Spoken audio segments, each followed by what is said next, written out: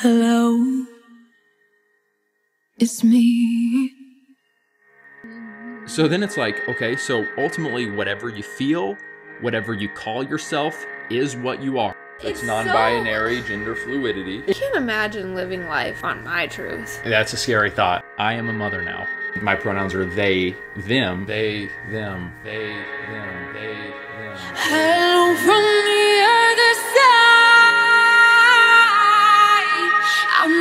have called a thousand times to tell you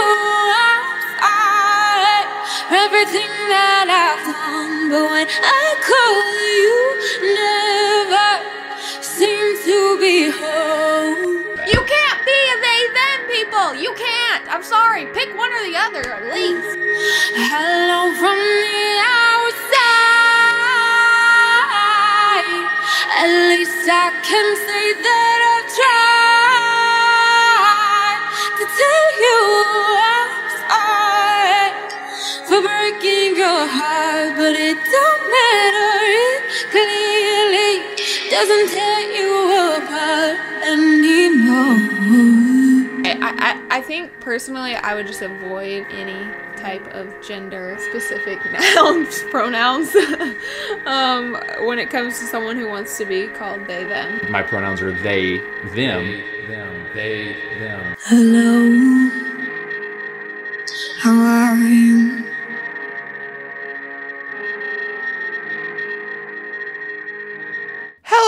Everybody, and welcome back to my channel. I am Jen, and this is Fundie Fridays. And on my channel, I talk about different aspects of Christian fundamentalism, American conservative politics, gay stuff. I used to do my makeup, now I just wear makeup. Uh, isn't that growth? Yes. My room is slanted. In fact, my entire house is slanted. But yes, that is why the weird angle. I can't fix it. How are you guys? Um, it has been a while since you've seen me. I have been going through a lot and I appreciate your all's patience and grace in this time. Thank you to the Genonites for being so fucking kind. Thank you to James for filling in for me last week. And I know she'll never see this, but thank you to my therapist because she is the real MVP of this season of my life. So today we are revisiting the most evil tag team of all time, and that would be Paul and Morgan.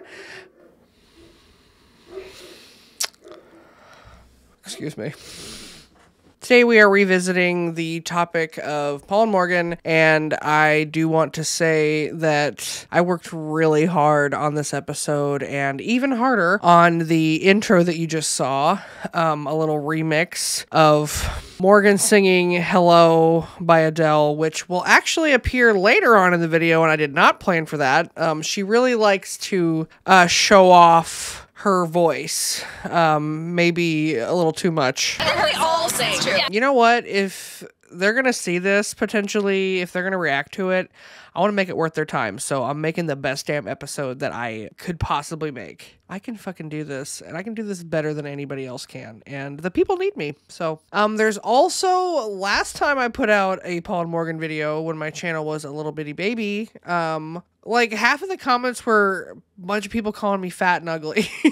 so, I mean, I am fat, but bitch, I am not ugly. Yeah. So, I really think it's way overdue. Let's fucking get into it. Today, we are talking about Paul and Morgan Olliges, a married couple from Lexington, Kentucky, who make Christian commentary videos on everybody's favorite God honoring hell site, YouTube. They have done all kinds of different projects. They've dabbled in podcasts, TikToks, Reels. Um, they wrote a book that is, um, it sure is a book, as well as at one point they ran an online thrift shop called Hollywood Thrifts, which was just run through Instagram, which nothing wrong with that. Just let's stay in our lane here. They are known for their highly problematic takes, was asking God, like, God, this is total blasphemy. Like, why did you not strike Ariana Grande down as she was recording this video? Like, why did you not strike her down? seemingly unhappy marriage, and their arrogant and oftentimes obstinate behavior on social media. And they have a sense of biblical audacity that rivals only that of Lot's daughters. I have contractual obligations. So I hope you enjoy today's sponsor, which is Casetify. Well, as you can see, today we were going to try and have a little fun, film our ad in a blizzard, but once again, Missouri lets us down and produces a sad, wet, slushy thing that no one likes. And while we may be ashamed of the state that we come from, we are proud partners of Casetify, the world's top brand for high quality mobile protection and convenient accessories. So, from the snappy wireless charging to the rock solid mobile mounting for your vehicle, you won't be left out of the MagSafe experience with a Casetify clear case on your phone. And y'all, Casetify have put all their phone protection expertise into creating their most requested product ever the best clear case on the planet. These cases are optimized for anti-yellowing, so unlike those cheap cases you get online at big box stores and all that nonsense, these aren't going to yellow on you, and they're also UV protected with Casetify's optimized technology, so no blurring either. And yet this whole sleek form factor is still delivered with 6.6 feet of drop protection and tested to the same military grade specifications that Casetify prides themselves on. And since it's Casetify, even your new clear case can be customized and printed with an incredible variety of patterns, prints, and other customization options like we can see here. Jen and I actually recently drop tested one of our own Casetify cases in a place that doesn't suck, the sunny beaches of Mexico. You'll be able to see here that this phone case can hold up to whatever your vacation throws at it. As you can see, my phone is currently working. Beautiful picture of Jen at a wedding we attended recently. And now, for the drop test.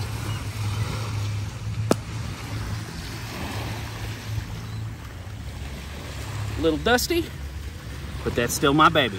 So with a Casetify case, it doesn't matter whether you're in sunny Mexico or in a terrible place like this, wiping the world's saddest snow cone off your car, you know that your phone will be protected from the elements. Thanks so much to Casetify for sponsoring this video. Go to casetify.com slash fundiefridays right now to get 15% off of your next order of the best phone case you'll ever have. And now, back to the video. Also, I would like to shout out uh, Fundy Wikia and, of course, Reddit for archiving all this shit. Um, we have really come a long way from the dark ages of snark, having to go through pages and pages on random forums trying to piece this shit together. So thank you guys. Um, so let's start off with the patriarch of the family, as is proper. Um, Paul Olliges was born on September 4th, 1989. He is the son of Joe and Leanne Olliges. He has two siblings, Stephen and Julia. Paul grew up in a Christian home where he was homeschooled. He became a Christian at the age of 14. He had quite a few interesting jobs that you probably wouldn't expect. Um, number one, he was either a substitute teacher or a full on elementary school teacher. I can't confirm either way. It's one of those like things that, you know, um, but he does have pictures on his social media of when he was a teacher, which is also like, hey, why are you putting pictures of kids online? He was also going to cosmetology school, and at one point he was a model. Um, as you can see in this picture right here, he had a friend who is Asian, and uh, that's cool. Two Latinos, cool, like great. There's a reason why we call him Fundy Zoolander. Like he's really vapid and vain and um he has a very self-inflated ego.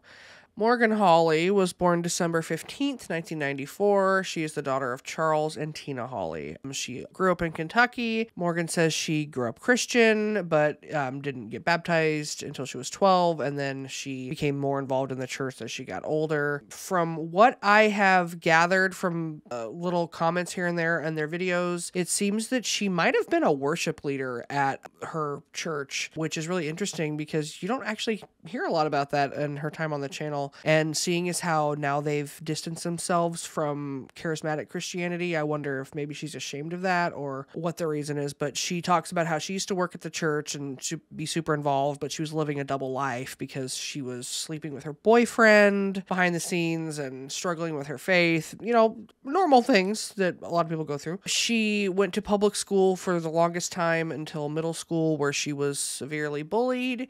She says that that is kind of the start starting point of her mental illnesses. Morgan started being homeschooled, and she said she really took off uh, academically after that. In fact, she said that they are going to homeschool slash co-op homeschool the new baby. So that will be an interesting journey for us to watch because you know she's going to show us. Yes. So, uh, a big thing about Morgan is that she struggles with a lot of different mental illnesses. She has specifically mentioned borderline personality disorder a few times, um, as well as some severe anxiety. Um, in one video I watched, she said that she used to have a service dog because her anxiety would get so bad. So, that's pretty fucking rough, Morgan. Um, and I'm glad you're feeling better, but it is highly troubling and problematic when you say stuff like mental illness is caused by sexual sin. It's interesting because so many people uh, of who, you know, maybe identify as a Christian and who identify as not will say sex before marriage is fine. It's amazing. It's great. It's absolutely necessary to find your spouse. And to that, I say, do you struggle with depression? Do you struggle with anxiety? Do you struggle with blah, blah, blah? And people aren't going to like this, but No, I don't they care. will not. Um, and if the answer is yes, then I'm just going to say, I don't want to hear from you. Because Whoa, whoa. when you are struggling with these really like heavy things, these mental illnesses, these very heavy things, and you're living in sin, but yet you're saying it's totally fine and it doesn't affect me in any way, shape, or form, I just don't believe that. I don't believe that. I believe that if you stopped having sex outside of marriage, that your depression might lessen. And I know you guys are gonna like go off on me. It's fine. You can. But I, from personal experience, living in sexual sin was literally being eaten alive and destroyed by depression, by anxiety, by panic attacks. I was throwing up for 18 to 20 hours a day sometimes, literally multiple times a month, because I was so sick mentally and physically because of the crap that I was living in. And as soon Literally, you guys, the day that I said I'm done with this and I walked away from that, like my depression did not totally go away yet, but it lifted like a weight off of me. It was gone because I stepped away from that sin. And I had a journey that I still had to walk through to fully become free of depression and anxiety, but that was the door that I had to walk through and the door that opened up freedom to me. Um, the first step was getting out of sin, living living in sin. And so I just don't really want to hear from people who are like, it doesn't do anything to you, but then they're living in like darkness all the time. It's like, why would you ever take advice from a person who is living in such darkness? It's also really upsetting when Morgan says stuff like the clip I'm about to show you, where she says that her therapist told her that you it's impossible to overcome depression and that you have to live with it your whole life, which, you know, I'm no fucking expert, but I understood what she was talking about.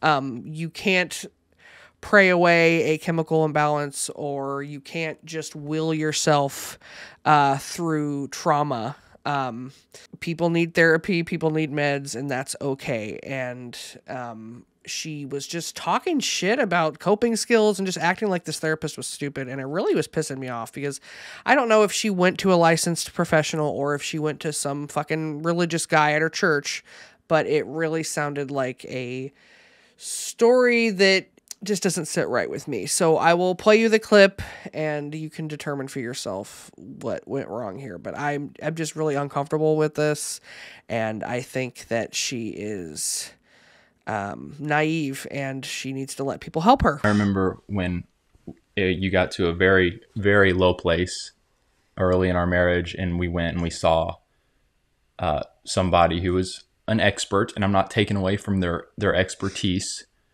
but her counsel was just listen listen morgan you need to accept that you're always going to i'm not sure her exact words but like you're always going to have depression and you just need to learn how to cope with it but it's mm-hmm. always going to be there. Mm-hmm. I don't think that's what you're or maybe it is kind of but i I heard you just say like i realize this may be something that i have to like war against Yeah. to an extent but i, I do want to draw the distinction. You are a completely different person. Yeah. Um so yeah, it's interesting. I when we had that meeting with a counselor, therapist person, um, that was when I was really at my lowest, and they were just telling me like, yeah, I just want you to understand because I, she said, what is your goal? Um, because I was gonna po- possibly start doing this therapy with this person and she was like what's your goal that you want to see out of these therapy sessions and i said well i want to see me completely um set free of depression and anxiety. And she was like, okay, well, I just want to let you know that you'll never be set free of depression. You're never going to overcome depression. It's something you live with for the rest of your life, but you can learn coping mechanisms of this or that. And immediately I was just like, okay, we're done here. um, I'm leaving.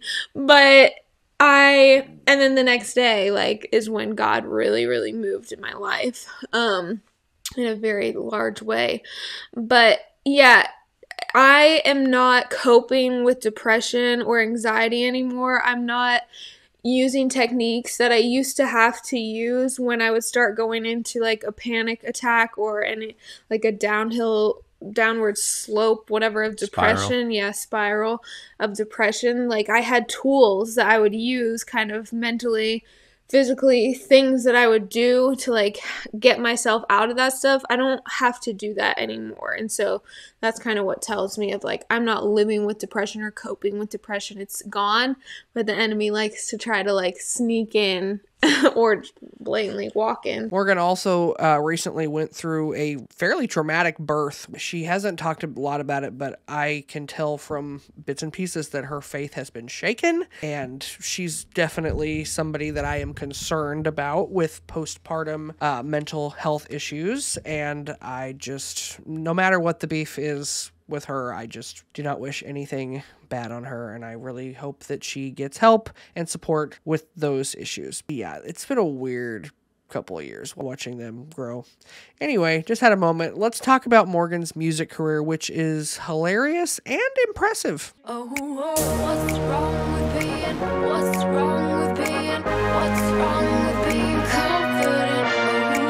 I just looked and she doesn't have any CDs because I would totally purchase one. But anyway, Morgan does have a really good voice. Um, it's very Halsey uh, type of singing that was popular in the 2010s. So Morgan was a part of this. It sounds like it's a contest, but it's not. It's just like a group that produces um, covers of popular songs. I don't know how they got the rights to this music, but Morgan and a bunch of other artists were a part of this company that does You Idol that Morgan was on. They used to produce music for commercials. So this is a weird situation, but anyway, Morgan recorded a bunch of covers and went to Miami like every two weeks. She said that not only was she peer pressured by all of the atheist Florida boys in the music production, but they pressured her to sing inappropriate songs. And she said she had to fight because she did not want to sing Cool for the Summer by Demi Lovato. Uh, she wanted to sing her own music, which that's not what this is, Morgan. You guys are making um, covers, presumably for commercials. Something that's really interesting is they interviewed all of the You Idol people um, beforehand, and this is like a biography of Morgan that I had never heard before. Hey guys, I'm Morgan Holly. I'm from Louisville, Kentucky. You and me,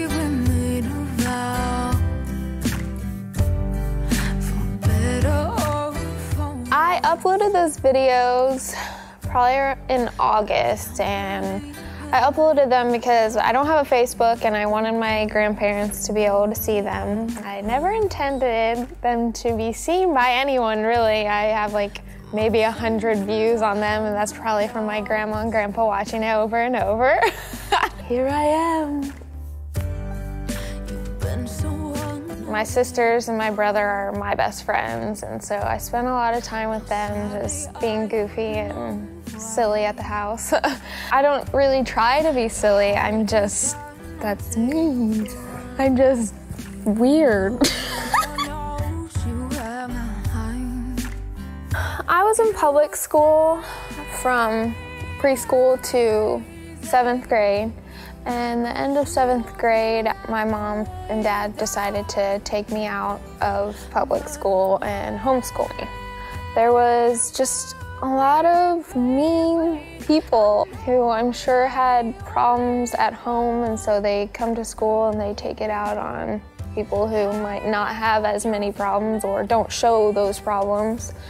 And I was one of those people who got it taken out on me, so it got to a point where I just couldn't really handle it. When I was bullied, and for years after, I kind of like, I don't know, I was angry inside and frustrated and confused. I didn't understand why I always was the one to be bullied. The older I get, the more I want to share that with other kids, just letting them know that they're important and that if they don't believe in themselves, they need to know that other people believe in them. I believe in them. I just want to try my hardest to remind those kids that they're important. I'm Morgan Holly, and this is You Idol, the place where you can bring out your inner superstar. But anyway, I know you guys came here for uh, the wonderful music. So uh, here is a little clip of Morgan singing The Night is Still Young by Nicki Minaj.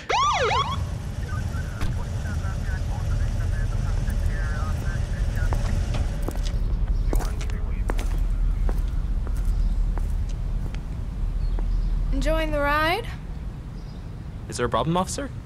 What's the hurry? The night's still young. Sorry, I was going to. Sir, I'm gonna need you to step out of the car.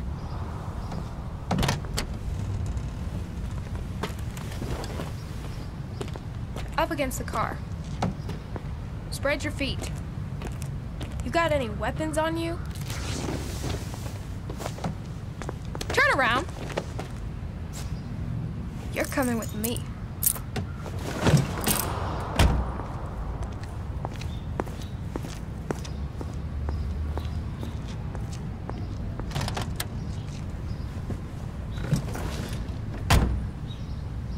And I know where we're going.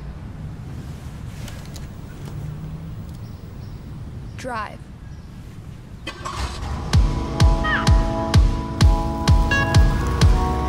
We will remember this day. So drop the pop and get low. We can drop the top and just cruise. We fresh to death to the shoes. Only matter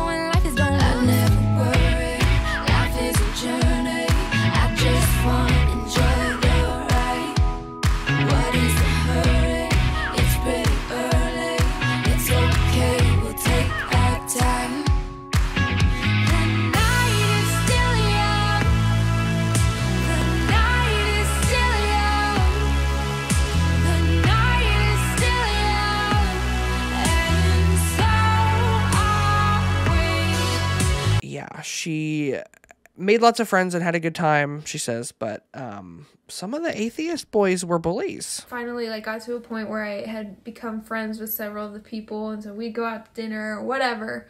Um, and that was a lot of fun.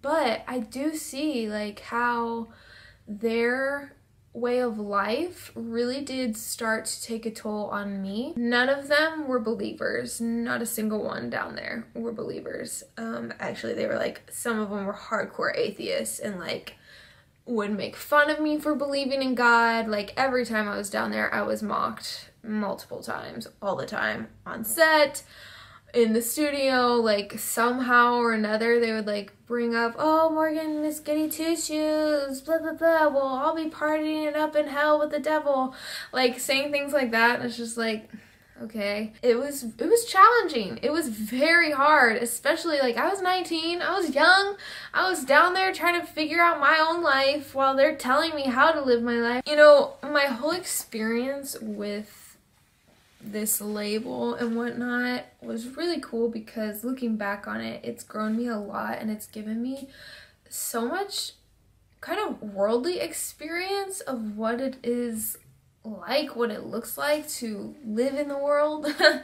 Obviously, I live in the world right now, but you know what I mean? I don't know if that makes any sense, but I just was surrounded by this very secular world and saw like how hard it is to keep your faith when you are in this world, working there, living there, friends with people there. Like, it's really, really hard, um, especially as a young person. Makes me that much more hesitant to listen to secular music. Like, guys, I'll be honest, and I've shared this plenty of times before, I don't really listen to secular music anymore at all because I just don't think that it's beneficial to my spirit personally. After she left You Idol, uh, Morgan made a couple other songs um, and put them on her own YouTube channel, and some of them are cute. Yesterday, a girl met a boy, and the whole wide world was flipped upside down. Life changes so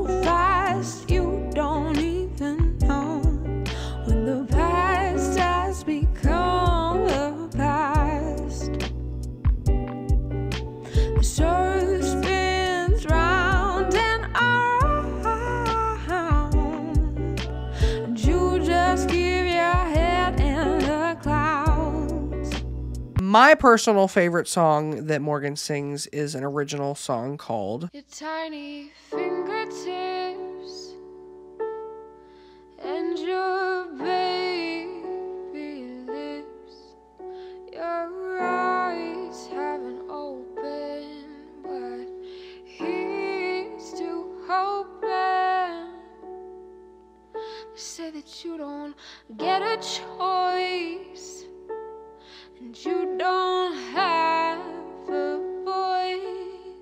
When I want to learn how to do something on a video editing program, I'll do a little project. I'll like make an intro or do a song or like whatever. And I wanted to learn how to key stuff out and, you know, make it transparent. So I edited Morgan's song and added a few elements to it. Um, and I felt at the time that it was too blasphemous for the public to see. So I put it on Patreon. And I think it's only appropriate that I show it to you all now because it's been two years and I'm talking about it. So um, here's my remix of the abortion song. Your tiny fingertips and your baby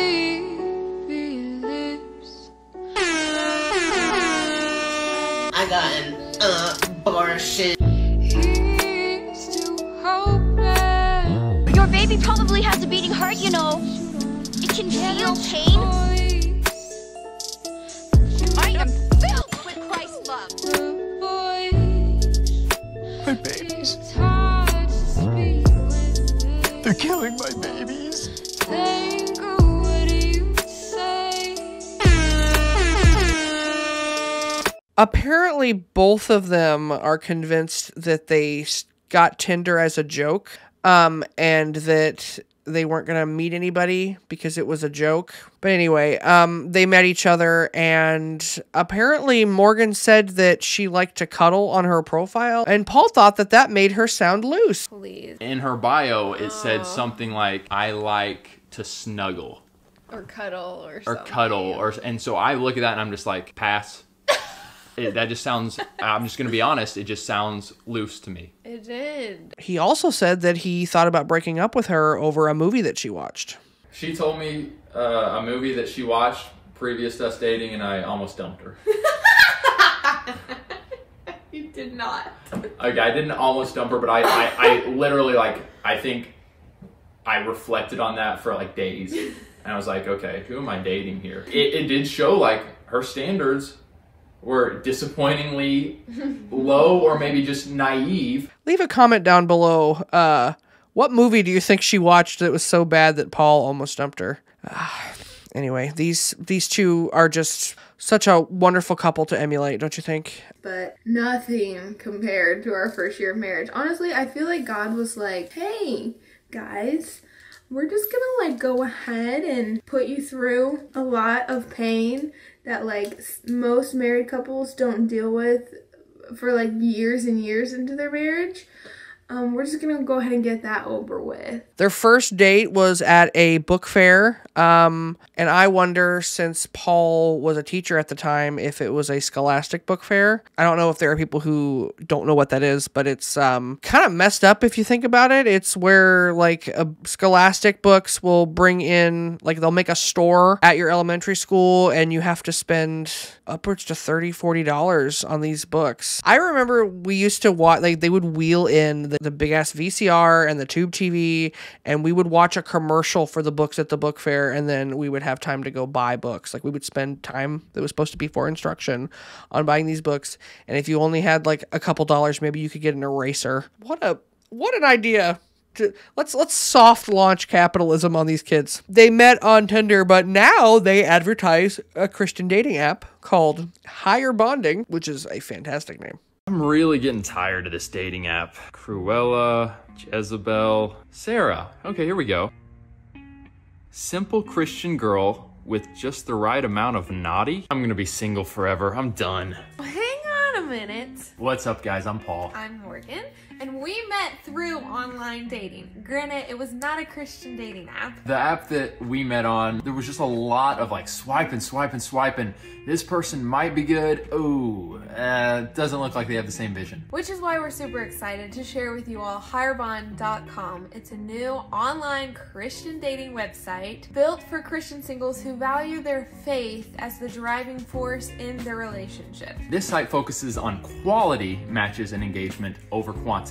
We should know that online dating can work and we actually highly recommend it. Try this out. If you're a Christian looking for love, Check out higherbond.com. I even have a clip here of Paul saying that he's mean to Morgan and she can't do anything about it. Times when I've done something or said something to Morgan that's been so hurtful, and in the back of my mind, I'm like, it's nice knowing, it's nice knowing that she can't go anywhere. okay, that doesn't give you the right to say mean things I to your wife. I feel guilty about it. Now, I'm sure they're both going to say that that was just a joke, but behind every joke is an implication. I wouldn't worry too much about it. Uh, Morgan definitely got Paul back by farting on his face. So one night, we're all about to go to bed.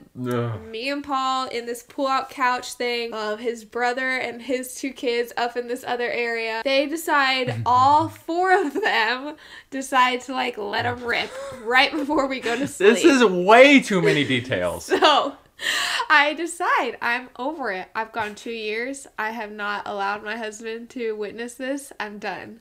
I literally jump on him. I sit on his face and I fart in his face. That is way too many details. They needed to know why I decided to do that. Guys, Because The that's question vulgar. That I sat on his face and I heard it, but I needed you guys to understand why I was led to do this. this question should really be Paul, how are you doing since this happened? Like, They had extreme physical boundaries with each other when they first started dating. Makes sense for a fundy couple. Notably, their first kiss was after Paul asked Morgan's dad for permission to marry her, and they wouldn't even hold hands until they were engaged. Their engagement story is pretty cute. Paul read a Winnie the Pooh book to her, and then like the ring was inside the book. I wrote down in my neatest handwriting, right in the middle, I said, just then, four words popped into Pooh's head. I love you, M. And I'm still like this, and Paul like nudges me and was like, "Look at that." Nothing made sense. He asked me, he was like, can you read this I, next page? I had her read this. And I was had like- her read this. I was like, Paul, I don't want to read. And he was like, babe, just want this one page. And I was like, Ugh. So, uh, so was She like- gets to this part. Ain't nobody in the world but you and I, Pooh mumbled to the wind she reads her favorite song lyrics. I was like, in a Winnie the Pooh book. All I said was, that's cute. She says, that's cute. All right. He goes, can you turn the page? I had her turn the page.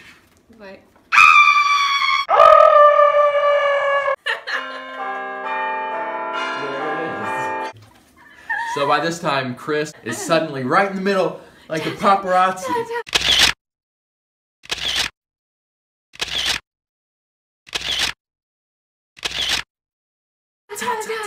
I got down on my knee and I said, crying a little bit. I said, Morgan, Renee, Holly. I said your middle name. Okay, yeah. Will you marry me? And what did you do? Thank you, Lord, for giving me the strength to persevere even in the midst of a hangry, crazy woman. After a short courtship, Paul and Morgan got married. You know, they look like little little evangelical models here in this picture. The most notable thing about their wedding is that due to nerves and apparently it was super hot and balmy, whatever the reason, Morgan threw up uh, in the middle of Paul's vows. Um, so here's that. Go back. July 15th. It was hot. Oh, it's so hot. It was blazing. The photographers drove together and they came a little late. They were so late. I guess there were some hiccups. There were just the normal wedding stuff. The groomsmen, You all come in together. we come in together and we do this cool little like snapping and moving our. If you ever think, Nice, keep going. then I would catch you. That was really cute. Everyone would look back on this day that was like part of the wedding and would say Morgan was so calm. She wasn't a bridezilla. She was all smiles. That's what's so crazy about what happens next. I can't leave our family that love you well in my own strength. I'm too weak and too selfish.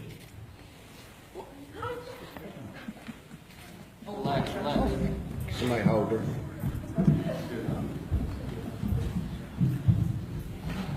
She's getting sick. She's getting sick. It's just hard. you know? It's very emotional. I don't know about you, but I feel like the guy talking behind the camera and narrating is more embarrassing than the actual vomiting. And I thought through this and I was going to say, like, that I can't take care of you, but I know God can and He's going to use me and empower me. So I read the vows and this is what came out Morgan, I know that I can't take care of you. right then, she snapped. So for that, the whole time she was out of the room throwing up, I was in my mind, I just told Morgan, I can't take care of her. and she literally fled the stage. After these two lovebirds got married, they started their channel, um, the Len Paul and Morgan, Morgan, Paul and Morgan Morgan Show.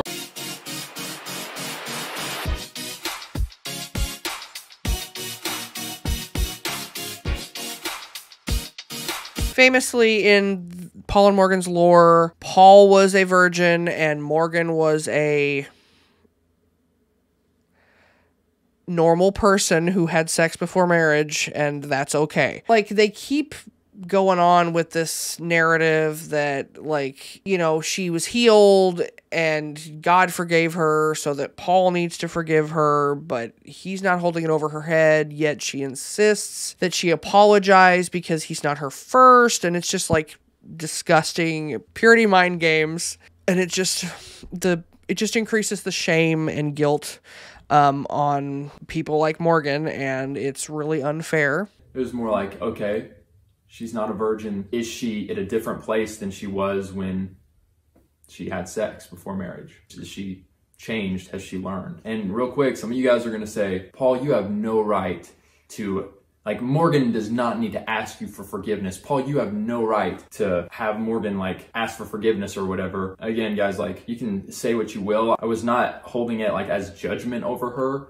But at the same time, there is such a thing as asking for forgiveness. And you know, when you're looking to marry someone and you've, you know, sinned in an area, like first off, you better have asked for forgiveness to God. Humble yourself. Stop. No matter living. what the sin was, whether Yeah. it was sex or whatever. If you fall, if you sin, if you're living in habitual sin, like you better be repenting and asking for forgiveness. So you guys cut that out. Humble yourself. Stop living in so much pride. Second, I do think it's appropriate to ask the person that you may end up marrying for forgiveness for a sin you've committed that is probably going to affect them to some level. So if it had been reverse and I had sinned in that area, for me to be like, hey, Morgan, I just want you to know that I have had sex before marriage. I'd like to, to ask for your forgiveness. Like, I don't see anything wrong with that. Yeah. Like Paul said, it was a sin that I committed that was going to affect us, our marriage, our relationship. Like, so he absolutely deserved to know. And it was my choice to ask for his forgiveness. It's not like he was like, Well, are you going to ask me to Yeah. forgive you? Right. That was not it. Like it was my choice to to ask for forgiveness. I decided to humble myself. I decided to lay down my pride. I decided that this guy is important to me and I want him to know that I am sorry that he's not going to be my first. Like I'm sorry you didn't get to be my first. Like, holy purity culture, Batman. What we have here is a shame spiral so deep, I swear it could have drilled its way to China by now. She doesn't need your little comments, Paul. It's bad enough that she sees you as a metaphorical and a literal Christ figure in her life. God totally had a plan because I met Paul and I saw I saw God through Paul. Um. It's like so funny cuz thinking back on our first date it's kind of like I was sitting with Jesus the entire time that on that date because I literally like poured everything out to Paul on our first date. Like I told him everything. This next clip that I would like to show you is from uh, a video where they're they're filming a normal episode and they get into a fight and they leave it in because they want to show how a real couple fights and it is incredibly uncomfortable. It is so awkward and like unnecessary. You can show, you know, working through a disagreement, but god, this is bad. Okay, no, no, no, we're not putting this in the video. We need to work on this.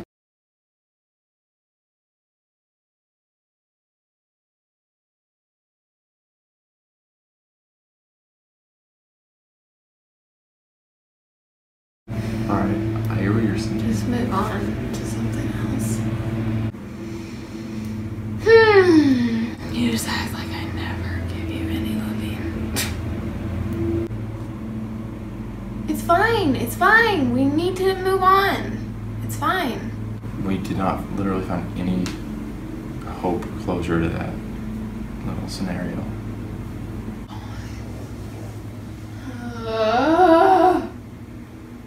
So uh, remember that next time you get into a fight with your spouse, that it could be a lot stupider. So I asked him, I was like, Polly, are you sad? Did you not like it? Did you have expectations that I didn't reach? And he was just like, I was just really hoping I was we were gonna get a massage. I was like, And I I felt like a total total jerk saying that. I did. Another one of the um, causes that uh, Paul and Morgan are really passionate about is their anti progressive Christianity stance. They see it as a bunch of uh, fake Christians who want to have orgies and still get into heaven. And I think a good part, a good slug of the Christian progressive movement is how can I satisfy my emotions, my flesh, my wants and desires? I don't like being told no, and then still fit that idea into some type of Christian bubble that says, but I still love Jesus. and I'm still gonna get to heaven when I die. The problem is that they don't understand pluralism um, and that other people can also be Christians and not believe exactly as they do. It's a simple concept, but, you know, it takes them time to understand things. Michael, I'm glad you mentioned, you know, the sexual immorality aspect because I do think that is one of the issues that's on the forefront here. When I see someone saying I'm a very big advocate for progressive Christianity, what I see pretty quickly after that is the person is living a lifestyle that the Bible would call sexual immorality. They're saying God told me that this is okay, or they may be saying that the Bible is outdated in this area. It's really more about getting down to Jesus's actual teachings, which include a prototype of socialism, radical acceptance of minorities, and an actual, tangible, provable, intentional love for your neighbors. They don't make an idol out of purity and bigotry, which your denomination keeps obsessing over. Somebody like Morgan would probably be happier in a progressive Christian church where she wouldn't be given vague prophecies that somebody made up. She wouldn't be slut shamed and the music would actually be good. What do I know? I'm I'm just a queer, overweight, sexually broken reverend. Hated to love it. What are you gonna do, haters? I want to take this little bit here to do a side tangent. Um, they have this friend who I think they lived with for a while named Michael, and he he just like like he is just some guy. And also, go subscribe to Michael, you guys. He's got a channel where he actually really hits on the social topics and does an awesome job with that. We'll link his stuff below. Let's get to it. So I had to know what this dude's deal was because they were like, check out his YouTube channel. So I checked it out, and he is, um, but from Russia invading Ukraine to just the COVID craze the last two years to even uh, what's going on right now in our country with the economy, with uh, the integrity of our elections, with uh, you know things that are true being trampled on and things that are false being exalted as truth. It's almost like you're up is down and down is up. It's like a, a, a twilight zone. And it's really like the Matrix. Okay. Um, there's one part in the Matrix where uh, Neo asks Morpheus, uh, "Why do my eyes hurt so much?" And then Morpheus tells Neo, "Because you've never used them before." And that to me is such a profound quote. As for Paul and Morgan's other religious beliefs, I think it's probably safe to assume that they are young Earth creationists. After all, they did go to the very same creation museum that I went to back in May. All right, Morgan, we are sitting here waiting for a reptile snake show. While we wait, what are your thoughts on the Creation Museum? Pretty awesome. Uh, my favorite have been the miniature dioramas of the ark. Yeah. Like literally, they were like tiny little elephants and tinier people. Okay, okay, speed it up with your tiny.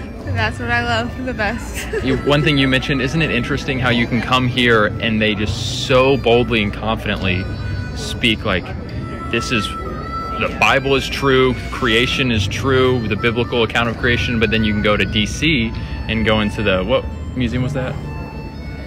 Whatever the I don't know. big museum Yeah. in DC was, and it's like the polar opposite, where they're all talking about Evolution. the evolution billions of years old. Billions, billions. We believe this.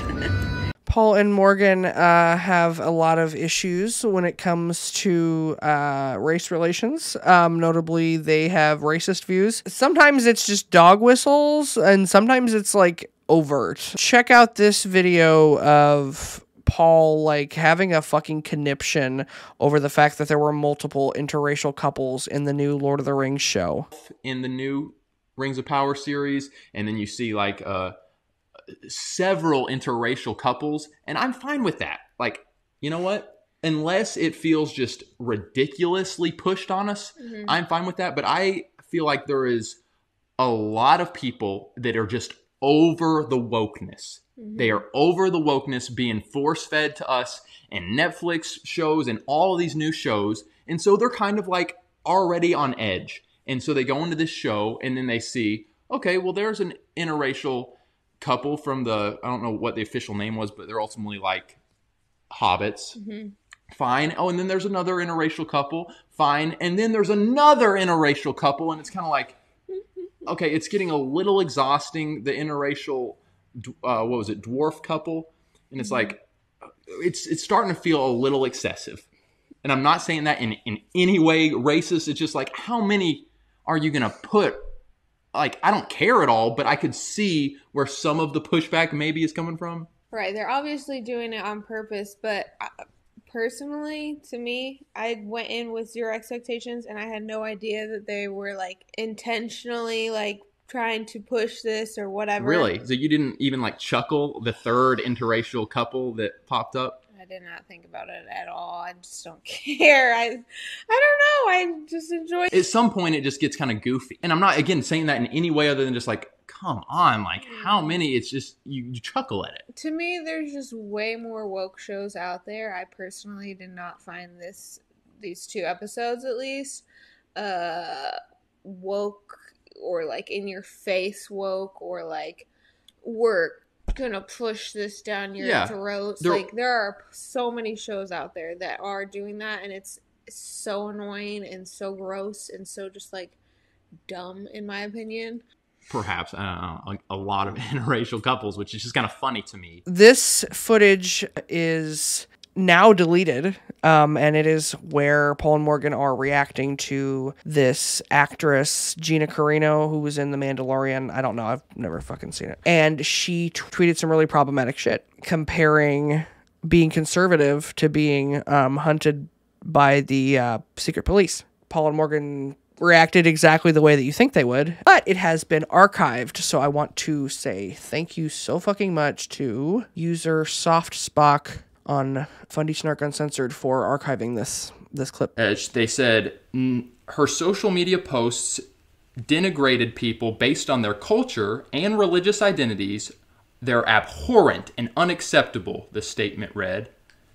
Okay, so that's the. Um, let's see. Let's just see. We're gonna get to this in a minute. Were her posts abhorrent, Mhm. or did they not like them because oh wow, she happens to be an outspoken conservative and she's a little sassy. Mm-hmm. Yeah. And like here's the thing, I do not like it when people start trying to compare like what we're going through to the Holocaust. Like be quiet. That's not you have no idea. We have no idea what it's like. What the Holocaust survivors and people who lost their lives went through. Um, so don't do that. That's uh, not okay. Um, I did like the way Ben Shapiro, maybe we could link the video after this or something in the description. But Ben Shapiro talked about it in his little clip of And Ben's a Jew. I, a Jewish man who practices Judaism. Um, and so if he's not offended by her tweets, Right. but we'll, we'll get to that. and he also just shared like I'm not okay with people comparing things to the Holocaust. Don't do that. But that's not what this was. It wasn't Comparing, but it was not in an anti anti-Semitic way. Yes, and it wasn't saying we're the people on the right who are being canceled are like the people who are the Jewish people who are being taken into the concentration and we'll get to it That's- here in just a minute, and then you guys Yeah. can decide for yourself. Yeah. Um, but was it anti-Semitic? No. Was it perhaps too? Did she did she go too far? Did she maybe draw a comparison that is like, okay, that's a little extreme? Sure. All right, what was the tweet? And then in quotations, because history is edited, most people today don't realize that, or don't realize that to get to the point where Nazi soldiers could easily round up thousands of Jews, the government first made their own neighbors hate them simply for being Jews. How is that any different from hating someone for their political views? hmm So, I understand why people would say, "Oh, I mean, one, she didn't really like say a certain political party. She didn't say conservatives. Like Mhm. we're being trained to hate conservatives. Um, she's not specifically talking about that. And also, I think that you know, again, let's be careful with comparing our lives to the Holocaust people and their lives. But I don't think she was necessarily saying like I mean, we heard what she said. I think she was trying to make a point of, hey, look, our government and the media and our world that we're in right now is trying to train us to literally hate people and attack them and, And make 'em shame seem- them right, make 'em- and ridicule them. they are trying to demonize half of the country which are mm-hmm. conservatives or if you're somehow in your in my opinion your weird mind thinking that that was anti-semitic because i definitely don't i don't see it It's just Um, not. I don't really know why I have to be the one to say this, but Paul and Morgan, you don't get to decide what is and isn't anti Semitic. Uh, it's not really up to you. Um, but I guess I would say I am glad that you deleted half of this live because I don't want it to infect the rest of YouTube with your bigotry. I'm fucking done. but it's like no race race race race or gender gender gender gender Would you believe that they're also incredibly fat phobic? How do you guys really feel about postpartum bodies? Scars, stretch marks, saggy skin, belly. mm, posty bods that's that's what we guys call them posty bods What are you gonna say to that, buddy? Three months postpartum over here. Okay, okay. Here's the thing. You have done a great job. Mm. But it's kind of like p- postpartum. This question would be for married couples, Mhm. assuming that you did it the right way, had your children within wedlock. But no, um, there are some relationships where, and it's not just the woman. One of the parties kind of lets themselves go. Let's just be real. One of the parties.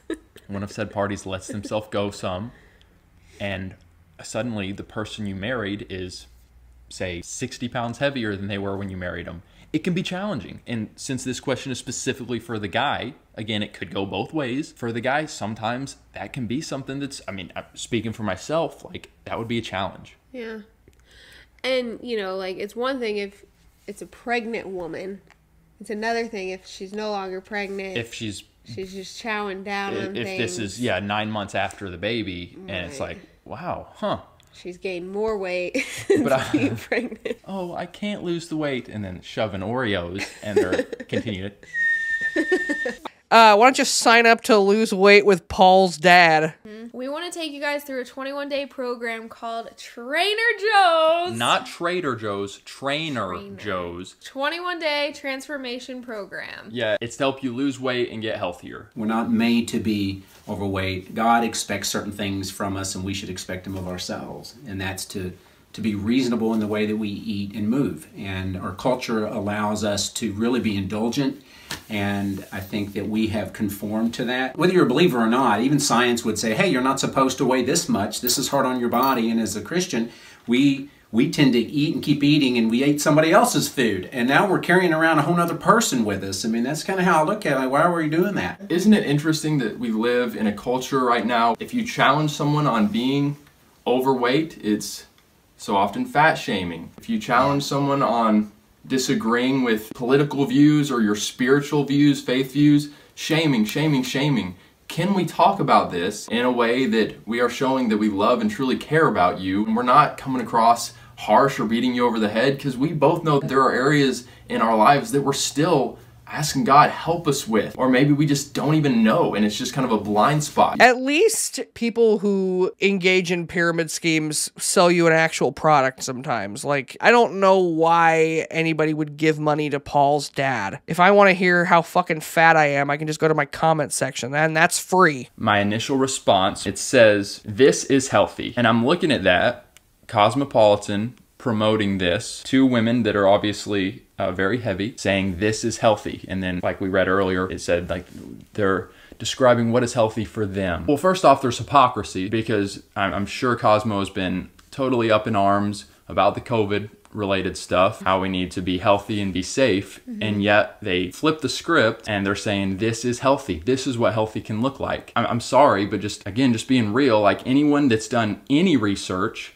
with common sense knows that an obese person that obesity is not as healthy by a long shot as someone who is in shape. And so for them trying to feed us this in the midst of a pandemic where they're all up in arms about one side of health and then trying to promote obesity as being healthy, I was thinking to myself, cosmopolitans should be ashamed of themselves. It is shameful, in my opinion. It's like, this is what we have come to. This is what we're pushing as healthy. Like, when Paul showed me the cover of that and stuff, I was literally like, is Cosmo, like, literally trying to kill people off the world? Like, that's where my mind went. Conspiracy! Reduce the population. But like literally, that's what I'm thinking. Like, why are we pushing all of these things? Why during a pandemic can you go into the grocery and buy all the junk food you can and you can still go to McDonald's during the pandemic, but you can't go to the gym? I love how they're trying to do a gotcha there. Like, why don't the SJWs care about being fat the way they care about COVID? Um, because you can't catch fat. Um, but you can catch these hands, so. This informs, if not exacerbates, the rampant fat phobia on the channel and in evangelical and in American and in worldwide culture. Uh, people just hate fat people. Mushy! Mushy's fat, but that's a good thing. Like patriarchy, fat phobia does not just affect one group, it affects everyone. And it corrupts everything that it comes in contact with, like self image issues, dangerous eating patterns, Um, appearances seem to be a huge part of the culture they're a part of. This only further contributes to the accusations that Paul and Morgan are shallow, appearance obsessed bozos. We just don't need these assholes trying to sell you Paul's dad's program, and we certainly don't need them to tell us how to live our lives or what is or isn't healthy. They are just two random people online. You need to remember that. Oh my god. This next section is uh, transphobia and homophobia. Um, in this next clip, Paul compares homosexuality to alcoholism. Did Christians attend a gay wedding? I think is what it's titled. He said, you know, this is not a rejection of the person, and if they see it that way, that's going to be on them. But it's not a rejection of the person, it's a rejection of what the person is doing and what they're going to live in. And we can't support that. And actually, Alan gave a couple good parallels. He said, you know, are you going to take an alcoholic to a bar to drink with them to show them that you support them? No. Are you going to take someone struggling with PORN and go over to their house with some magazines to show them you support them? No. Mm-hmm. Yeah. Oh, honey, I'm not suffering from being queer. I'm enjoying every minute of it. In this next segment, watch as Paul and Morgan react to a viral clip of famous trans influencer Dylan Mulvaney. Now I know I can find love. I know I can still be a performer. I know that I can have a family. I want to be a mom one day. And I absolutely can. And that's why the narrative still has a long way to go because when I was grieving boy Dylan, I didn't know those things were even accessible to me. I absolutely can be. I want to be a mom one day. This male says, male dresses woman, I want to be a mom one day, and I absolutely can. Morgan, just what are your immediate thoughts being someone who's literally holding your baby during this live video? You just went through a difficult pregnancy. What are your reactions to that? Not everyone who um is a mom is someone who carried their child. So let's just make that clear. But Okay. a mom is a biological woman. There's that's just that. I at first when I heard that, I wanted to get angry. You know, I did get angry and like kind of disgusted. But Hmm. then the more I think on it, the more just sad I am for you know, Dylan and for other men out there who have gone through I don't know what someone has to go through to get to this point of this is gonna sound kind of mean, but delusion. Um, I don't know what you have to go through in your life to get to that, but it probably isn't very good stuff. And so I just feel sad for these guys who are very lost and confused and desiring something that they can never have. Dylan can adopt a child and have that child call him mom all he wants, but he will never be a mother. And what, Morgan? At least Dylan is happy. You're the one who doesn't respect yourself enough to live your own truth. I can't imagine living life on my truth. That's a scary thought. How sad. We've experienced this talking about Demi Lovato and stuff. How dare you not use their preferred pronouns? And Allie B. Stuckey said it well. Yeah, we are Bible believing Christians who see that God made male and female and said that it was good. And so to go against what God calls good and to call someone by their preferred pronouns is just something that we can't do in, in good conscience. It's just confusion to a new level. And the idea of just You can't be a they them people. You can't. I'm sorry. Pick one or the other at least. Yeah, you can't be a they them because a pronoun is just a part of speech, um, but you can be a person. And right now, you're being a bad one. the fact that so many people are struggling with their identity. We're having a lot of people go through identity crises, crises, crises. Um, and we're seeing even Christians going through these identity crises, and it's alarming to me, but it's it's sad to me because they feel like putting their pronouns is like helping them like really solidify their identity or they feel like putting a flag or whatever is really helping solidify their identity and where they stand and who they are and to me it's just like as believers we we get to have this confidence in our identity as a child of God. Like that's our identity, child of God. So if you want to put that in your pronouns, go for it. Oh, so you identify as a Christian? You don't identify as a woman anymore? That's perfectly reasonable. I'll update the way I refer to you. Um, but what about Paul? Because so far he's identified as a mother, James Dean, and a black person. I'm announcing it in today's video.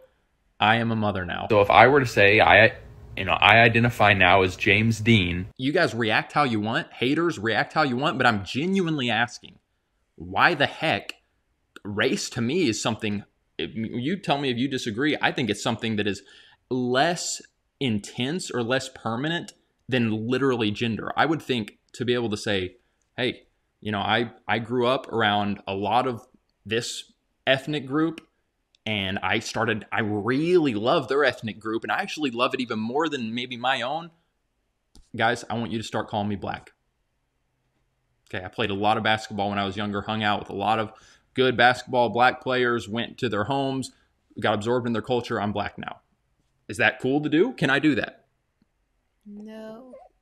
Why not? not. Because Dylan just said, you know, whatever you feel, whatever you call yourself, you don't even I, I don't even have to paint my body. I don't even have to do anything else. This is the most accepting our world has been with the LGBTQ community, yet they are one of the highest communities ending their lives. Oh, she really said that without any shred of irony, huh? Um, yeah, I wonder why they have the highest suicide rate, Morgan. Do you really want to think about that, or do you just want to live in denial? Because uh, this isn't funny. People are actually fucking dead. You'd rather talk about how Paul was a virgin and that really upset him that you had sex. Yeah, that's really important, guys. All of their arguments are stupid. Their beliefs are harmful, um, downright dangerous. Sometimes they say shit that is just so off the wall that I can't even believe that it's actually coming out of Paul's mouth. Is it not fair to ask or to bring up someone saying,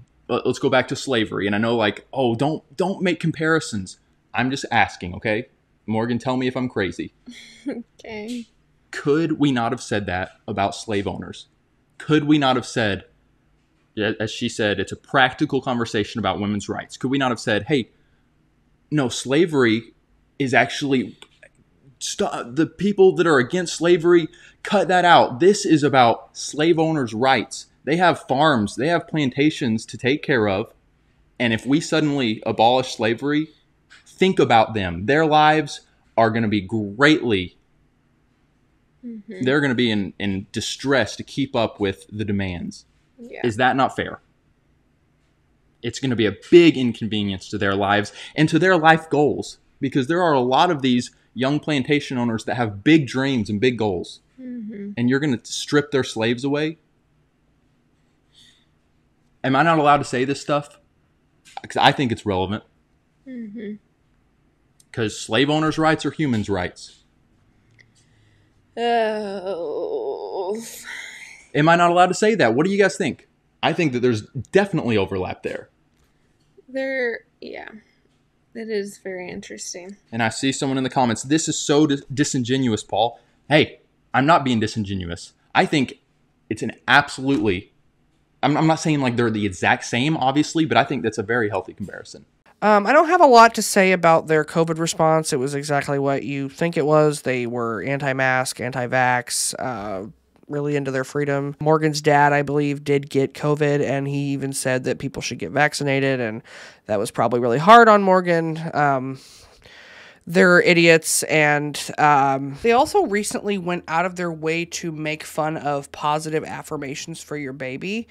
So, if you're hearing that correctly, they were making fun of being nice to your baby. I am strong. I am loved by the King. I am adorable. I'm the best baby ever. I am strong. I am capable. I am independent. I am a powerful being. I am a powerful young woman who can do everything a man can do. Ow! Just kidding. He's a young. He's a young man. Mm. Well, I uh, really wish they were my parents. After a while, maybe the algorithm was kicking their ass a little bit, or maybe they got tired of being so incorrect all the time. But um, it seems that Paul and Morgan were getting tired of the old political humdrum and rattle. And it's like, no, race, race, race, race, or gender, gender, gender, gender. So they switched up their channel theme once again to uh, being all about sex. So, uh, can't wait for that. Now, before you guys get alarmed, calm down a little bit. Okay, um, we are going to be making some adjustments, some changes, content related, but don't don't start panicking. Okay, here's what we're thinking. We have kind of come to realize we have a sweet spot, and we think at least one of our sweet spots Mhm. is love. Love. I mean, let's just say the love doctors have lied, line dormant, lied, Lied. laid Laid. dormant long enough. And all that to say, the love doctors are back. Seeing as how these two are experts on exactly nothing, and they already have some highly problematic takes on things like consent. Here we go. As long as it's consensual, then God is for it. As long as it's consensual, me and my boyfriend were consensual, so it is so great. They just they love the social justice warriors. They just they that word like overshadows God's word. The word consensual. They love that word. I just can't wait to see what they have to say about biblical missionary sex in the dark, shirts on for the purposes of procreation only. Far too many Christian marriages having subpar sex. They're settling and they're just kind of like, yeah, this is just how it is. Our sex is, if we're being honest, it's just okay or it's not very good. It, I do not think it has to be that way.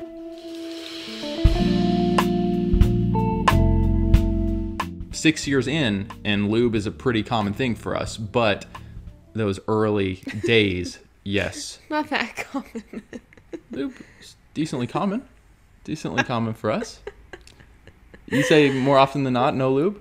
yeah. Really? How is sex when your wife is on her period for a man? Uh, there's a movie from the mid 2000s, There Will Be Blood. um, it's a very intense movie. I believe that every woman can orgasm close to every time she has sex. Yeah. Let's be real, we don't, Yeah. but I would say it. Well, I don't. Not we, buddy. hey, we're we're one, uh, we're one flesh. And I, it was one of those things where I think growing up, I just did not. It's kind of like guys have hair, girls don't. That was literally kind of in my my thought process. Oh, it's it's very educational. Okay, and I remember like when I saw in college they made me watch a woman give birth, and I was kind of like, ah. Okay. I think oftentimes like when you know people freak out about oral they're just like it's you know that's the only sexual act that's happening and then like the couple's finished and they just did oral. Oral is oftentimes a part of foreplay and it's often a part of um, stimulating the other person warming up the other person um, for other things.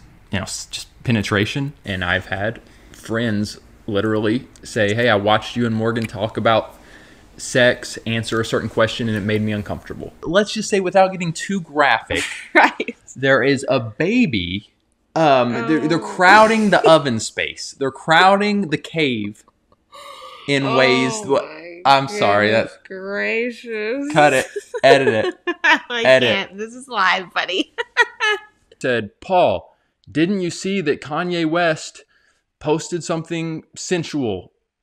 Uh, and then she ended it with, Where is your discernment? Fair enough. They are really good friends with Girl Defined, um, and I have a couple clips here. Um, this one is Morgan talking about losing her virginity and the shame that she felt, and Paul making it worse. So before I met Paul, I was in a three and a half year long relationship with a guy who was not really walking with the Lord. Um, I knew God. My heart was for him, but I just kind of went down the wrong path and continued to stray down that path with this guy.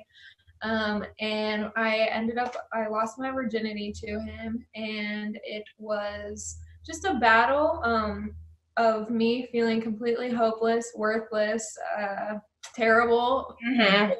guilty, just all of the bad things I felt about myself. And when I first met Paul, I our on our first date, he was just kind of telling me. It was very clear. He didn't even have to tell me. It was very clear that he was pure. He was saving himself for his wife, and I just immediately was like, "This guy is not going to want anything to do with me." Like I had repented, I had turned from that sin, and you know, totally started over. Um, but I just knew and felt like he just wasn't going to want anything to do with me, and that was not the case. Here we are, three years later.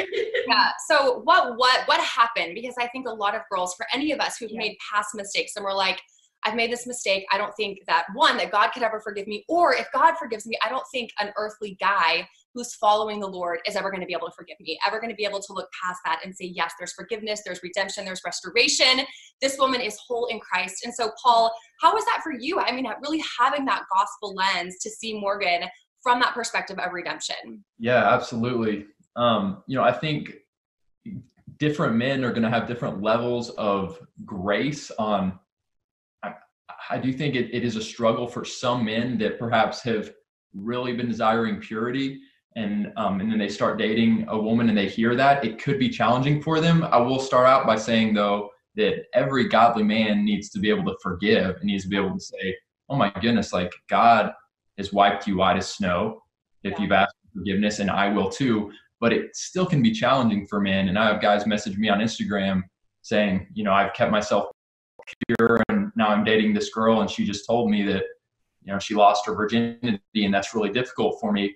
And my response is, yeah, you know, forgive them, don't hold it against them. But there may be that could be something that, that sticks with you and it's just really hard to get past. And I don't mean to prolong that aspect because for me, Morgan shared that with me. She was very real, very open on our very first date. And she shared it with me. And I, I just had grace to, to be like, she isn't who she used to be. She's, you know, asked God for forgiveness and, and she's in a different place. Like, come on, I, I forgive you. Let's, your heart is for the Lord. I'm not going to look back. Let's go. So um, it was really good. It was the best first date that I had ever had. And what do you know? These two ding dongs even went to the cursed 2020 Girl Defined Super Spreader Conference. And I am on the lookout for a bootleg version of the video if anybody can find it because um, I went to the Girl Defined conference website and it was $45 to download a video of the conference. So no, I'm not I'm not doing that. Would love to know what they talked about. I'm sure it was the same old shit, but um, instead you'll have to settle for this super uncomfortable clip.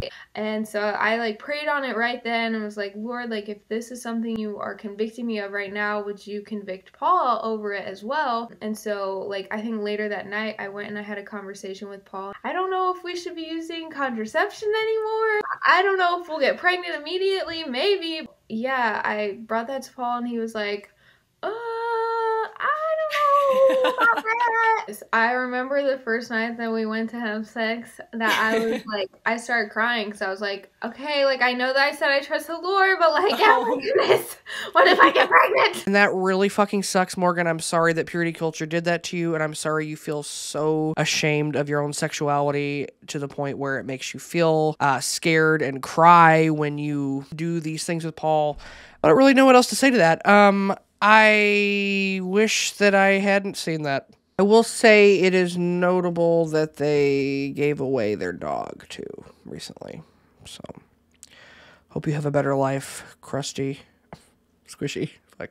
They also have a close friendship with another evil YouTube couple, Nate and Sutton. And yes, before you ask, I am going to do a video about them eventually. What steps did you all take to stay pure before marriage? We're going deep, you guys. Mm, we're going. We're go- this is what our people love. So one thing that I told Sutton right off the bat was that if we go past a certain point physically, that I can't be with you anymore. Hey, I was. Let me just say, I heard you say that in your all's last video, and I was even a little surprised because it totally is something I would have said. but to the world, to our haters out there that hear that, and I can just see them bristling and being like, How dare you threaten? threaten and shame. He, Yeah. he was standing up for his boundaries and he was saying Mhm. like if you can't be along with me in the purity that I I desire for our relationship it's not going to work out that was a bold move and you, said that to sutton like Mhm. early on Yeah, yeah, early on. Wow. For those of you watching, I'm not saying that Sutton, if you cross these boundaries, you're a horrible person or that you're not a Christian or any of those things. I was just saying that, like, I want, I want to take honoring God very seriously in our relationship. And if we cross those boundaries, then, you know, unfortunately, it's not going to work out. Recently, Paul and Morgan and Nate and Sutton went on a little family vacation together, which, you know, there's nothing wrong with that. I mean, I wouldn't bring a three month old on a plane, but that's her choice. I'm not even that mad about it because it's not the worst thing she's ever done. I mean, it's not like she wore her son on her chest while she lifted heavy equipment at the gym. She did?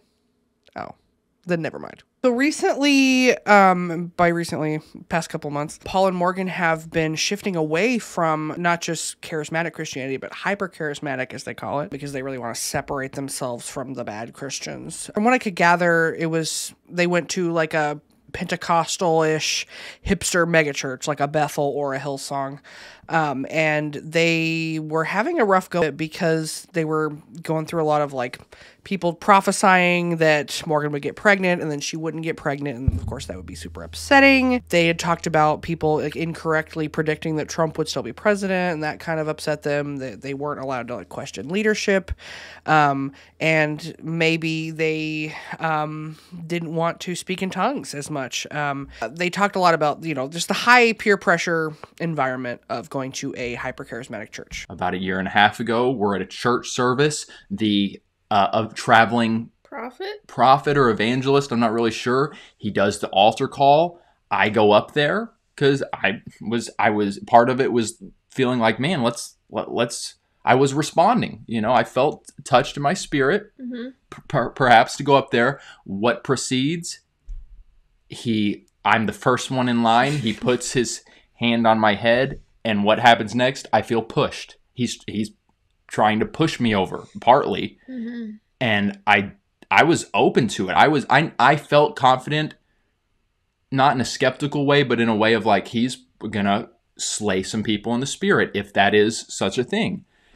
And I'm not saying it's totally not, but what proceeded was he forcefully tried to push me. I wasn't going to fall by being pushed. If the Holy Spirit came over me and I fell out, fine. But that did not happen. He continues down the line, and probably about half of the people get slain in the spirit. I personally, from my observation, think it was more of an emotional response than it was a being overcome by the Holy Spirit. Emotional peer pressure. This prophet's pushing you, and you're not gonna fall over. He's the prophet, the traveling prophet.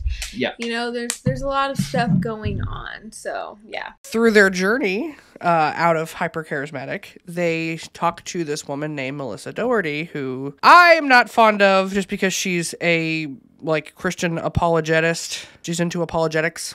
growing up, it was uh, our, our church was open to the things of the spirit. They invited the moves of the spirit. There was occasionally prophecy. There was um, just like a, a freedom in the worship that felt, I guess, as some people would call it. Uh, what would you describe it? Because you being a worship leader, prophetic worship, Spontaneous worship. Um, yeah, didn't a little more out of the box. mhm, wasn't so stiff. I also wanted to um, stop to mention um, Morgan was talking about spontaneous worship. That's something that I saw a lot of with Hillsong and Bethel. It's a whole thing. Here's a clip of somebody doing spontaneous worship. This is what it is.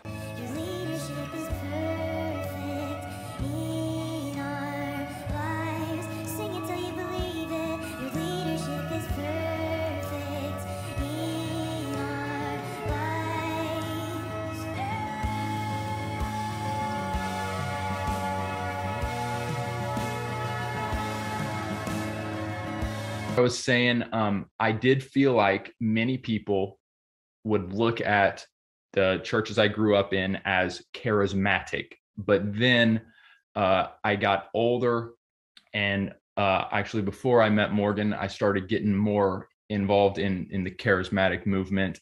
The hyper charismatic. I'm, I'm sorry. Yeah, let me say that again. before I met before I met Morgan, I started getting more involved in the hyper charismatic movement, and for many, I'm sure watching, um, Melissa, I'm sure you kind of can relate to this. There's something from almost like when you're an outsider looking into the hyper charismatic movement as someone who loves the Lord and wants the fullness that God has for me.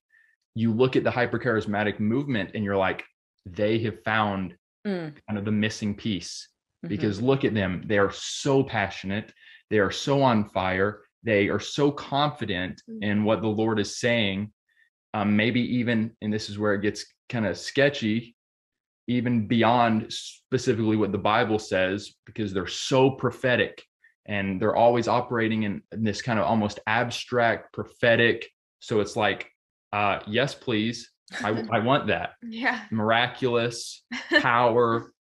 Is that making The sense? blessings. The blessings, yeah. Yeah. The That's the allure to it. I'm so glad you went over that. And when Morgan talks about these weird prophecies, like they got really specific.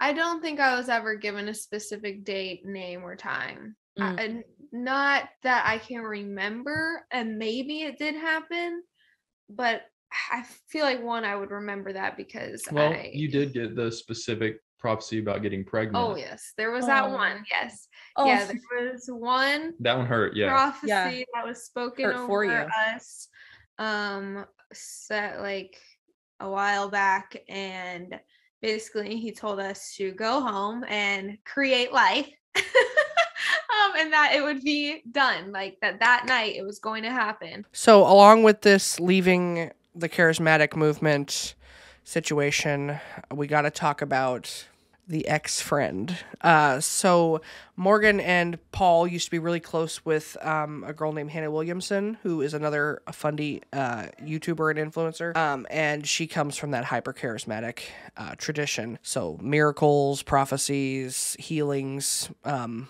all the same stuff that Paul and Morgan were trying to distance themselves from. And I don't know why they're not friends. I've seen some people speculate maybe it had to do with like prophecies of Morgan getting pregnant and it not happening and like her not wanting to be associated with that. I also wonder if it's because the public opinion has turned on Hannah. I've never liked her, but for different reasons. Um, you search her name on YouTube, you see a lot of people talking about how she's demonic and and all these different things. She's a false prophet. Like this is not that serious. That might be why they're distancing themselves. I'm not going to speculate on any other interpersonal drama because God knows I don't want people doing that to my life. It got to the point where people were directly asking Morgan about it, and what do you know? I have a clip of that. the only reason i'm going to answer this is because it's been asked a lot Oh, I know it. It's A lot, a All right, time to sober up. and I'm just gonna go ahead and address it, but I want to address it obviously in a God honoring way, and I don't want anyone to think anything. Yeah, just whatever. So, anywho, the assumption is I assume that you and Hannah Williamson are no longer friends. So, this has been asked a lot, like I said. Um, I have nothing but love for Hannah, and I know she feels the same way. Um, but we are no longer friends, and I know like people would love the details and things, but I don't think that that's necessary. She is still a sister in Christ. Yes, we still believe her ministry is doing great things, and we wish and pray nothing but the best for her ministry and her life. Um, but yeah, I don't know. Friendships come and go, right? Well, you said we're no longer friends. Like that immediately is like that just sounds pretty pretty Mhm. harsh. yeah. it's like again, it's we're sisters in Christ, but are we walking in life together on a daily basis like we once were? No, we're not. And it was a really hard separation. it, all of you guys, I'm sure, have like gone separate ways from friends before. You know that feeling. It almost feels like a breakup, but um, yeah. So And and the a bit a large reason we we brought it up in this video. We've been asked about it a number of times. We've had a number of people comment on Mhm. just right like video from last week. They Right. just or whatever they comment say you know where, where's Hannah Williamson been or in our DMs. Hey, I haven't noticed Hannah Williamson because she's been in several of our videos from back when, and we're just trying to figure out how to navigate it. It's this is a new thing to navigate a public friendship that no longer is what it used to be. And Yeah. so I, I feel like there's it's, it is appropriate to at least mention it. We could go into more details, um, but kind of like Morgan said, the the paths that we're on, and it's hard anytime you have like a long distance friendship. It's it's challenging, and you really have to be invested. And um, it, it just it got to a point about a close to a year ago where it just uh, there was kind of a a, a split and uh, like Morgan said, we still love her and we still bless her in the Lord, bless what she's doing. Yes. And because Paul and Morgan think that they're the funniest people on earth, they recently made a little like satire video sketch thing talking about um, how Reddit views their marriage.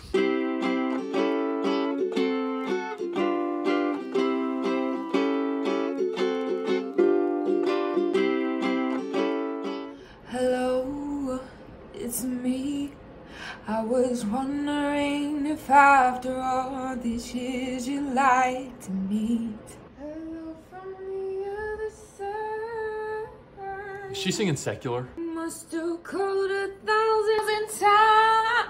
I'm sorry. No secular. No secular music. Yes. go. Amazing Grace. Go. Amazing. Oh, too poppy. Too poppy. Amazing grace, how sweet the sound. I'm a shell of my former self. What's up, guys? For today's morning munchie, God's not dead, he's surely alive. Babe, I am really in labor. Not now, babe. This is gonna go viral. He's living on the inside. I think I'm gonna have a baby. Munch on that.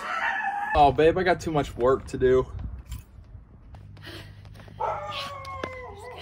When is Trump gonna tweet again? Refresh. Oh, oh, gotcha, baby Luca. Whew, sure is something, huh? There are a lot of misconceptions that I was so happy and oh my goodness, look at the joy in her eyes. Well, guess what, my friends? It's called acting.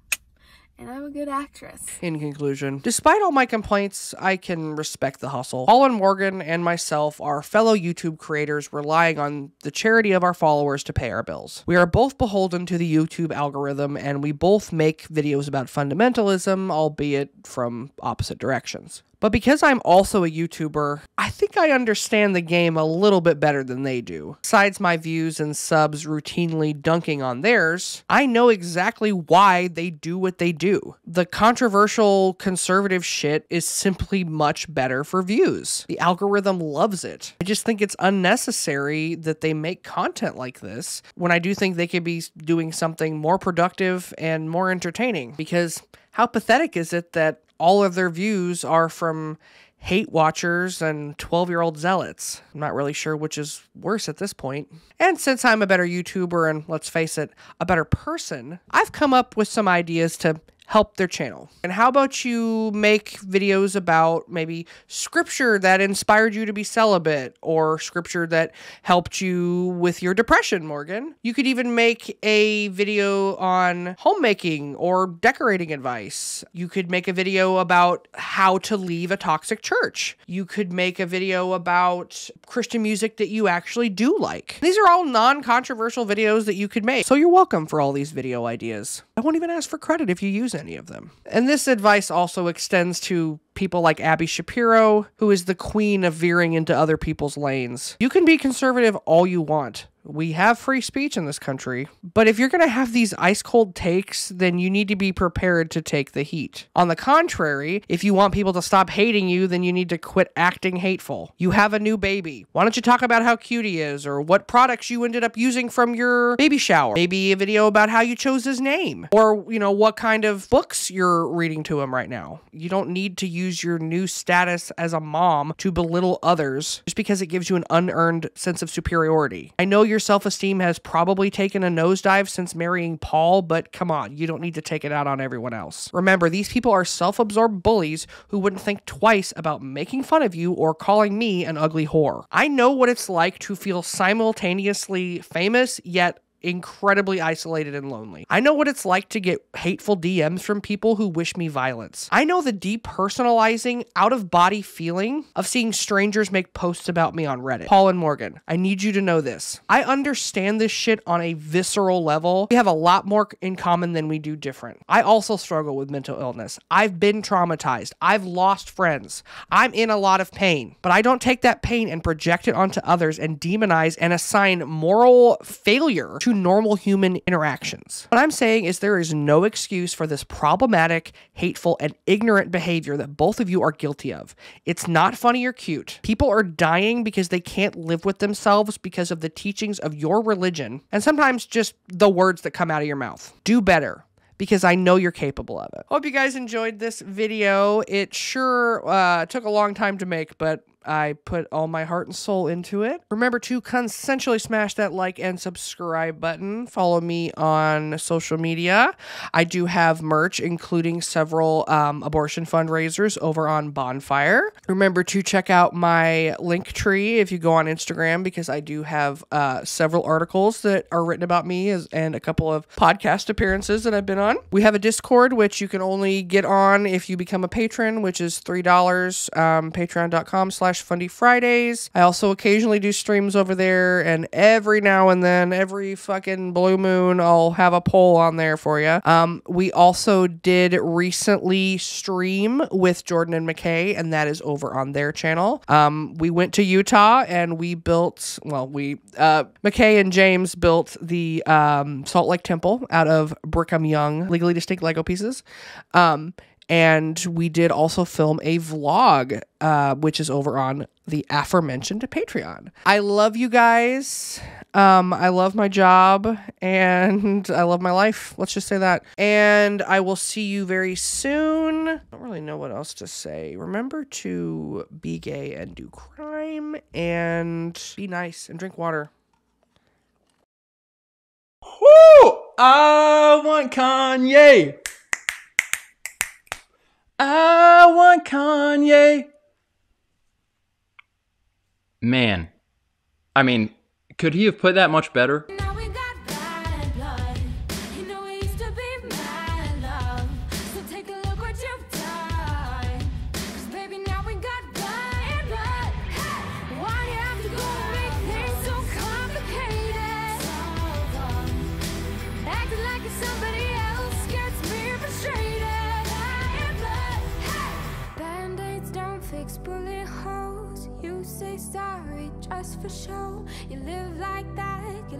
Just